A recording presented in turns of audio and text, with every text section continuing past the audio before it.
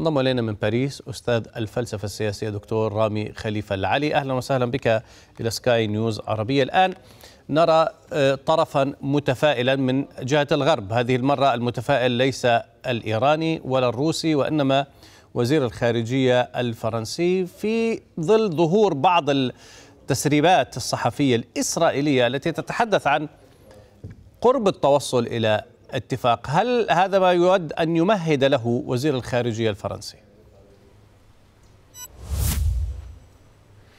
أهلا بك يوسف تحية لك ولمشاهديك الكرام. باعتقادي نعم هنالك معلومات أو المعلومات المسربة من فيينا تشير إلى أن هنالك تقدم حصل فيما يتعلق بالأولوية والإجراءات المتوازية سواء فيما يتعلق برفع العقوبات أو فيما يتعلق بعودة إيران للالتزام ببنود الاتفاق النووي. وبالتالي كل الأنباء تشير إلى أن هنالك تقدم حصل خلال الفترة الماضية أشار إليه الإيرانيين وأيضا الغربيين. طبعا هنالك بعض التصريحات التي تشير إلى أن الوقت ينفذ وأنه لا يوجد هنالك الكثير من الوقت ويجب الوصول إلى اتفاق قبل نهاية هذا الشهر ولكن ذلك لا يعني شيئا بالمقابل ما يتم الحديث عنه من تقدم حقيقي وملموس حصل خلال الفترة الماضية وبالتالي باعتقادي أننا قاب قوسين أو أدنى من الوصول إلى هذا الاتفاق. دعنا نشير يوسف إلى أنه قبل انطلاق هذه الجولة كان يتم الحديث عن وصول الطرفين إيران والقوى الكبرى إلى 85% من الاتفاق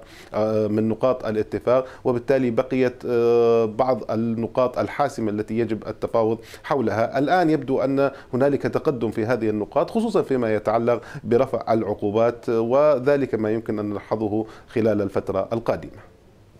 طيب هنا يعني طالما أن الحديث عن هذا الأمر لا يبدو أن هناك وقت لصياغة اتفاق جديد وإنما العودة إلى نفس شروط الاتفاق السابق على ما يبدو.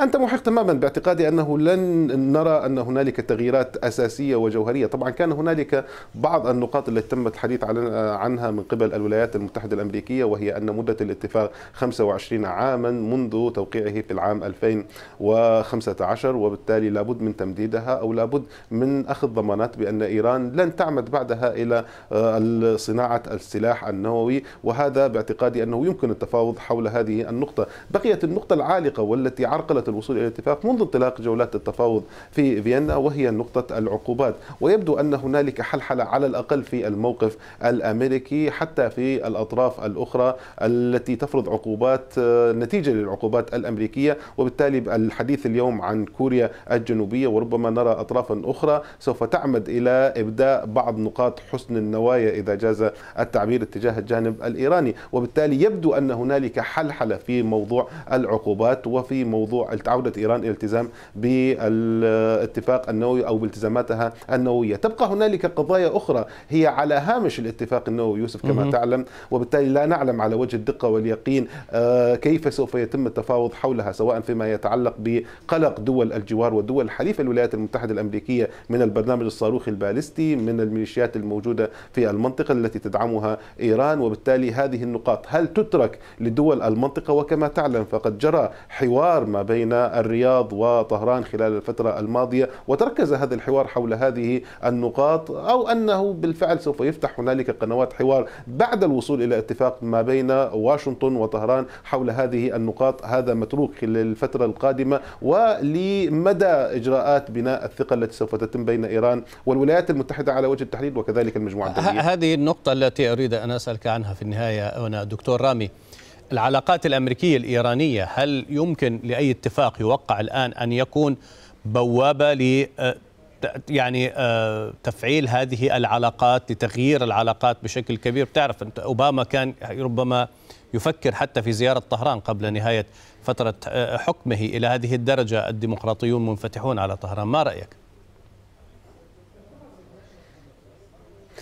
الحقيقة هنالك مستويين في المستوى الأول وهو المستوى الرسمي وباعتقادي أن إمكانية الوصول إلى تطبيع كامل ما بين الولايات المتحدة الأمريكية وإيران ما زال يستلزمه الكثير من الوقت والكثير من المحادثات ما بين الطرفين وتنقية الأجواء من جوانب القلق لدى الولايات المتحدة الأمريكية وكذلك لدى الجانب الإيراني وخصوصا سياسات إيران التي تلقى الكثير من الانتقاد من الجانب الأمريكي. لكن هنالك علاقات ما تحت الطاولة يمكن تسميته الحقيقة بالرغم من التصعيد الكلامي وتصعيد التصريحات الدبلوماسية الذي شهدناه خلال السنوات الماضية حتى بالمناسبة في عهد ترامب إلا أنه كان في بعض الأحيان كان هنالك تعاون في مجالات معينة. خذ على سبيل المثال حرب ضد داعش.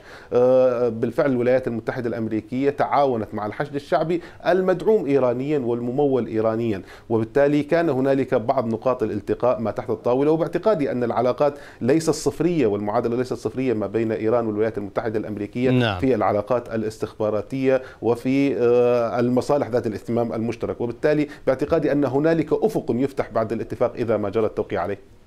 أشكرك شكرا جزيلا ضيفي من باريس أستاذ الفلسفة السياسية دكتور رامي خليفة العلي.